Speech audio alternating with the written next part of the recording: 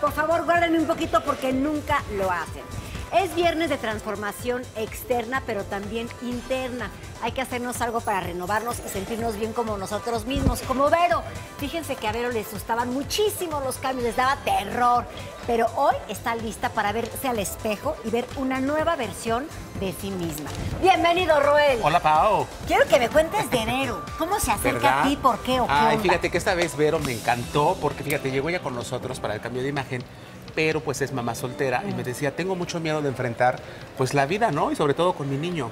Pero le decía yo, sabes que Vero, tú tranquila, porque eres joven, 31 años, y tienes toda una vida por delante para poder luchar y demostrarte a ti misma que sí puedes. Y oye, y tú empezaste, pero ya. Vente Porque para muchas acá. veces la gente siempre quiere demostrar a los demás, ¿no? Claro. Pero yo creo que no hay que demostrar a nadie. Aquí el punto más importante es demostrarse a sí mismo. Oye, ¿y lo lograste? ¿Tú qué crees? Pues quiero verlo. Hasta Vamos a no creer. Vamos a ver. Mi nombre es Verónica Pilar Durán Cortés, tengo 31 años. Siempre he, temido a los cambios, me, me asustan mucho los cambios.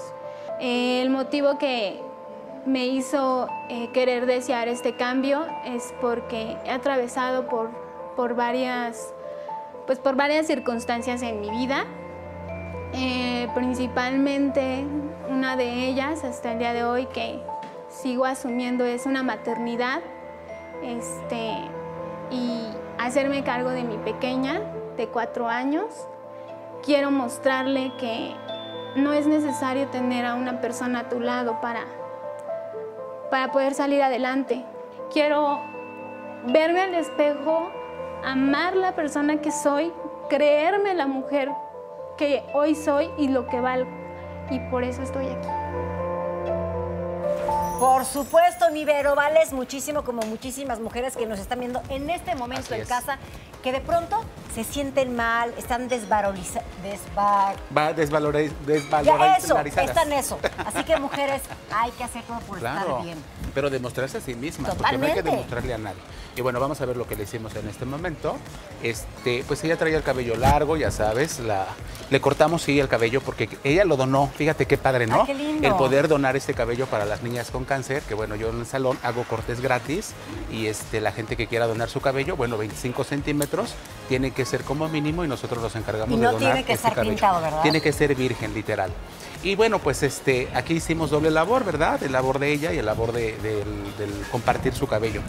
Y ya en el maquillaje, pues ahí sí le aplicamos lo que fue una sombrita color rojo y aprovechamos ahora pues la tendencia, el momento, que ya, ya vienen las vacaciones y ahora sí vienen las posadas. Adiós, Porque todo el año siempre hay posadas, pero ahora sí, ya viene de verdad. La posada. La posada de verdad.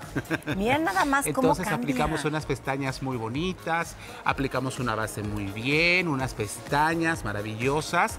Pero aparte yo la vi ella muy segura de sí misma y este eh, cuando salió eh, ya la vi con el maquillaje, con la boca roja, dramatizada. Le digo, mira, quiero que veas, Vero, cómo te ves. Y así quiero que te veas siempre, segura de ti misma.